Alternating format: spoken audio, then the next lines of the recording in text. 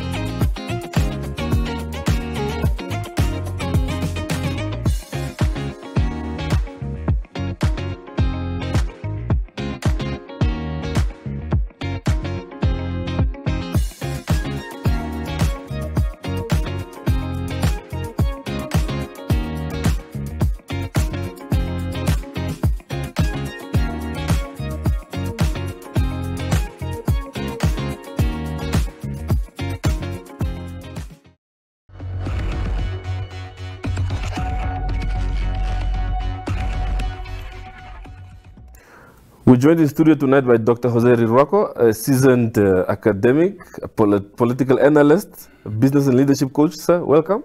Thank you. Thank you. It's good to have you here. Yeah, thank you for having me around. Yeah, where, where are you hiding these days? Well, they say the world is too big, and for small fishes like us, it's hardly to to take a, get a glance of us. yeah, Yeah, I'm yeah. yeah. Uh-huh. I, I see you are busy with some uh, business and leadership coaching these days. It's in, quite interesting considering where the country is at the moment in terms of, uh, le- of leadership. What, what can you say in that regards? Well, uh, um, you, you must realize one one thing that uh, the one thing that get either countries or companies going is a superb leadership, and, uh, and and and many of these things you, you can acquire the skills. It's not difficult to uh, you know when you go to some of the best schools. You know, and universities in the world, and, and you see how they panel beat and uh, fine tune and crank uh, into shape Yeah. uh, people that otherwise uh, could have not necessarily uh, provide the type of leadership that is warranted. So um, I, I think that if, the, if you wanted any success of any of anything, uh, you must nurture your leaders. You must be able to coach them. You must be able to mentor them. You must be able to uh, to uplift them to make sure that uh, they provide what is needed. I mean that's why you see many companies. You see how much the CEOs are paid. And, and that's why some of these companies also have performance-based budget. I, I mean bonuses.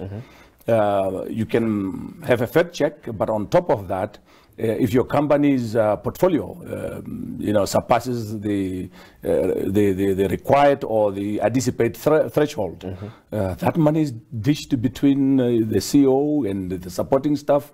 Uh, so it's it's one way to entice. So with good leadership, you can move mountains. Yeah. Um, I see you've been going around the country offering this type of uh, trainings or courses, if, my, if I may call it that. H- how is the interest? But the interest is huge. Um, I started, as you remember, uh, I do this thing as one of my community outreach. Um, mind you, that uh, some of us are not here uh, because of our own doing. It's because of the support that you got. The uh, some of us, when we were going through our studies, uh, the scholarships that we got from the United Nations and others, you were given in exchange to say, what can you do for your country once uh, once your country uh, achieves independence? And and um, we, we we have reached so high because of those people who uh, you know push you to that level. And and, and I thought uh, in my final years as, as an academic uh, it's better to plow back some of those skills that I've, I've acquired over years. Uh, the interests have been phenomenal um, because some of the topics that we that we cover are at the core uh, of, of business successes. Uh, you know that in Namibia, the, the, the tendency that uh, has been prevailing is that SMEs remain SMEs for life. Mm-hmm. Yeah. you know, you don't see many of them growing from uh, a mere SME to a middle size to uh, a bigger business. And then um, uh, there are some challenges that we've been facing, um, you know, in the SME di- division, Mm-hmm. and this has been the same throughout the years. Now, through these conferences, what what we do is that um, uh, number one, you bring uh, people who have walked the talk, Mm-hmm. you know, business people who have started humbly and may and, and made it to the ultimate, uh, you know, peak. Those are the people that you bring so that the people can synergize with these people, uh, build a network, uh, make sure that they will be emulate from what they do, uh, what these people have done, uh, because they have walked the talk. Uh, how did you do it? How do you humbly, uh, you know, uh, start it? And then the other thing is that we do research when we go to these things. As an academic, what I do is that I will sniffle around and, and, and, and make sure that um, Okay, if I'm talking about, for instance, what of the topic for the uh, for the conference is investment opportunities in Namibia. So, what are the opportunities uh, in the country? Uh, where is the economic niche, for instance, that people need to um, you know to, to exploit, and, and what area do you need to penetrate? I can take, for instance, the issue of um, uh, crop production. Um, you know, Namibia for many years uh, we have been depending on South Africa uh, for many of, of our fresh produce, to the tune of uh, you know 80 to 90 percent, and and uh, then came COVID, and, and before even COVID came the financial squeeze. You know, the, um, the the economic difficulty that we started facing throughout the world, and uh, as if that was not enough we were hit with COVID. and, and, and that exacerbated the whole situation because what happened is that then many countries closed their borders, Namibia included. And there goes our produce. And I've been saying this thing as a political and economic analyst for years. When I do the State of the Nation uh, address analysis of the budget address, uh, I keep saying that yes, South Africa is our neighbor. Um, we have been sharing barracks as freedom fighters for years. But what if something changed in South Africa? If we if we're getting our commodities to the tune of more than 90% from South Africa or via South Africa, what happens? Because when South Africa cough, uh, cough we catches the cold or catches the flu.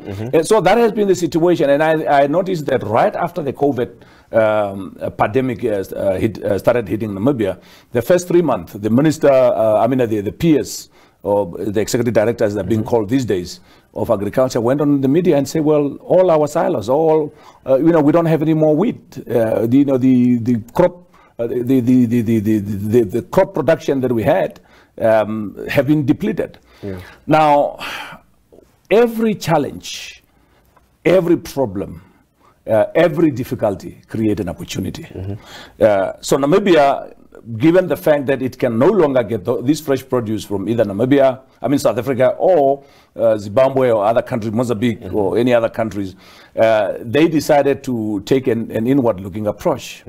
That is an economic niche. Because now you notice uh, last year uh, the Ministry of Agriculture was able to roll out programs where they provide infrastructure in terms of gardening uh, to anybody who wanted to, to get into um, um, uh, food production, uh, especially crop production. Uh, the government was able to subsidize 50% of the cost of you know, infrastructure, whether it is your fences, uh, your water tanks, your pipes, and, and, and things of that nature. And um, uh, you, as a person, you just have to bring um, 50%. And then they, they in, increase to 60%, 40% uh, sharing. And I don't know what they have in the pipeline. So that's why I'm saying that um, uh, we do research, we find out where the niche is, and we see how our people can exploit these opportunities. Looking at where the country is now fr- from an uh, economic point of view, um, what, what, what would you say is the route that we should take? Well, um, Namibia, when we were hard hit by this thing, and as you know, this bubble started way back uh, 2008 in the US, and uh, and we didn't feel the squeeze uh, in Namibia because of the fiscal um, uh, space that we have, fiscal space that we have. That is the cushioning that we had in our uh, the economy. Uh, and it was around 2015 when we started feeling the pain. That's when the Minister of uh, Finance started uh, halting and delaying some tenders and stuff like that. Um, then the minister uh, introduced austerity measures uh, or fiscal consolidation policies. And, and the idea was to try to minimize expenditure, to make sure that we make sure that whatever we have, we, uh, we use in a very prudent and optimal way, meaning that we, we are careful with our spending. Um, but then the, the other thing also that you do when you are in a difficult situation like this is that you want to save more. You want to cut on uh, cut off on those things that are not necessarily uh, too important. As um, uh, some of the um, uh, uh, bus- business gurus will make it. Uh, the uh, you know the uh, Buffett, for instance, Warren Buffett. He, he says that um, um, you know if you keep buying things that you don't need, at the end of the day, you start selling those things that you need most. Yeah. It's, it's, it's clear logic. So it defies logic that during uh, such a challenging time like this one, uh, you still indulge yourself in a spending spree. Uh, I think what the, the message that goes to every Namibian at this point is to try to uh, be as uh, optimal with their spending as much as they can. Buy those things that you really need because um, we don't know where the economy is going, and the prediction is that things will get worse before they get better. Uh, so I, I suggest that um, um, uh, you stockpile on those things that you need. You cut on unnecessary expenditure, unnecessary trip, unnecessary spending, and so on. Um, I think that that's the way to go. And but the, the other thing also, which is a very very big problem in this country, is that uh, we haven't developed nor nourished uh, a, a culture of saving. Yeah. Um, you realize that many people are living salary to salary. Uh, they say if you are a worse saver in terms of your salary, at least you should you should save 10%. percent Uh, there are many people who are working on overdraft. Um, so what we are saying is that um, uh, let's change the approach. Let's take saving as part of your cost, as part of your uh, expen- uh, expenditure. Many people wait until they finish spending, and then whatever uh, is left, that's what, where they take the little bit to save. Yeah. But you must plan your, your, your saving as if it is an expenditure. If you say this $1,000 uh, will go to my saving um, account, um, do it. And then the other thing, there are other saving opportunities. There are investment opportunities. I mean, there are um, certificates where you can put money. There are, um, you know, high income uh, type of investment where you can put, yeah, you know, your money. Uh, you can, you know, get the money in 30 days, 60 days account or whatever, uh, where you can get more interest as opposed to normal saving. Those are some of the things that we discuss at conferences like this. Well, um, looking at where the, where the where the country is right now, um, the issue of, of leadership, how much of a role did it play to get us where we are today? Well, uh, the let's go back to independence. Uh, Just on, on the on the eve of independence, and and I'm the type of people who says that we should not blame um, apartheid forever. We should not blame the past forever. But mind you, many people who ended in key positions, uh, whether it is in the you know top echelons of government, you know from the director, um, chief uh, controlling officer up and uh, undersecretary and peers. Uh, the majority of them were not necessarily vested with the necessary qualifications and skills. So some of the wages, uh, the wastages that we have seen, um, and then even the corruption that we have seen, uh, you know, of late. There, there are two ways, in my opinion, that, that um, many of these people have, have indulged themselves in this thing. Number one is the lack of necessary knowledge. I mean, you are a director of, of finance, you have no, no clue about finance. So, I mean, so that's why many of these people were able to indulge themselves uh, in unauthorized expenditure, in inflationary spending, because at the end of the day, I mean, putting it, uh, bearing it bare, if you don't know what you're doing, then you can't control the money. I mean, w- with money, it's a simple mathematics. You either know how to add or subtract. And, and then the, the ethics, uh, ethics is also very important.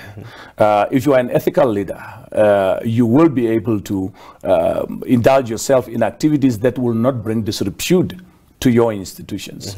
And, but what we have seen is that we have lacked leadership at various levels um, of governance. Uh, and, and that, in my opinion, have contributed to the laxed type of environment that we are seeing, where uh, some people are completely demoralized. Uh, some people are not necessarily uh, interested in what they are doing. Others are exploiting, uh, exploiting the, the loopholes within the system to make sure that they milk, um, uh, you know, things for themselves. And, and, in, and the other thing was also the institutions. We have institutions to safeguard the expenditure. But those institutions, were they meant by people who have the skills to control? And then the other thing also, um, I think we have been also been reluctant to make sure that uh, those who uh, misuse resources uh, were called to uh, to order, and, and and the law have been very reluctant, especially Yeah. when it involve um, um, you know some senior colleagues and senior rigging people. Yeah. Uh, maybe just, just, just as we close off, 25th May is coming up, um, Africa Day. Um, there's been a lot of talks about leadership on the continent and why the continent is the way it is. You currently have a group of leaders in Europe for a, a, a financing summit there discussing how to finance Africa's needs. Um, can you just talk to us about that just lastly? Well, if I was to talk about leadership and, and uh, the African, um, shall I always say, misguided type of leadership, uh, it, it, it, there are many, many contributing and attributing factors. Uh, some of them are of our own doing. Um, and, and, I would want to start with that. Yeah. Uh, the fact that um, um, in many situations, what you have seen is that instead of people providing uh, or doing what is right, they try to appease their masses. Yeah. Uh, and, and you have seen a situation where, uh, in, in fact, where uh, some of these leaders that we put in place were not necessarily what uh, the people that with, you know, with the requisite skills, mm-hmm. but either my friend or an acquaintance or somebody that I felt comfortable with, mm-hmm. or somebody that I needed a favor from, yeah. or to, to, to, to, you know, to give a bigger favor. Mm-hmm. Uh, that, that is one. But on the other side also, we cannot uh, shy away from um, the fact that uh, many of our former colonizers, during their stay when they were colonizing us, they made sure that um, they put our people, keep them, uh, our people in their little corners, mm-hmm. make sure that you were not developing uh, the necessary skills that yeah. you need. And so these are some of the skills that we'll be talking there. But then on the other hand, also, uh, after independence, these are the very same people uh, who make sure that um, still uh, to a certain extent, they, they, they, practice what we call the neocolonial, uh, neocolonialism. Yeah. they still have an interest yeah. in those countries, either to make uh, to keep the leaders corrupt so that they can milk the resources, uh, or to keep uh, the masses um, uh, unsatisfied, to make them rowdy to yeah. such an extent that whoever, if the leader is good, then you, you, you set the masses against them. Yeah. If the masses are if masses are good, then you, you mess up with the leader. I mean, yeah. if it emerged when uh, the IMF and the World Bank and some of these high institutions were being revamped, being changed after the collapse of the Cold War, that certain amount of money were set aside in those budgets to corrupt African leaders, yeah. whether it is the presidents, ministers, and so on. Mm-hmm. So you can see remnants of colonialism, but then you also you can see also the element of hunger. Yeah hungry people sometimes they do things not necessarily in terms of what they, what they think is right for their people. Yeah. But they are being informed by their own stomach. Yeah. That's why in Africa, many people. Uh, there's a book written by, uh, you know, uh, by Wrong. It's a journalist uh, from Britain, and there's another book also written by another scholar who says that uh, many, many a times when somebody get a job in Africa, the family get jobs. Yeah. So it's, it's, it's like um, you see people canvassing for this parliamentary position and so on, not necessarily on what I am capable of. There are some who will even challenge the appointing authority that I have done so much for the party. Yeah. I have done so much for my constituency. Mm-hmm. Not necessarily that the person is the right person to handle that job. And, and I think this is where some of the problems are coming from. Okay. Yeah. And then also the issue of well withheld. We don't have enough money at our resources. Uh, we have little money. Um, we, uh, I don't think when we gained our independence, and I'm speaking for Namibia and many other countries, uh, our first priority was not necessarily to come up with programs yeah. uh, that will grow our, um, uh, you know, our revenue base. I think okay. that, that that's that's part of the problem. Okay, Dr. Roka, thank you very much for your input. I should thank you a million. it's a pleasure. Thank you. Thank you.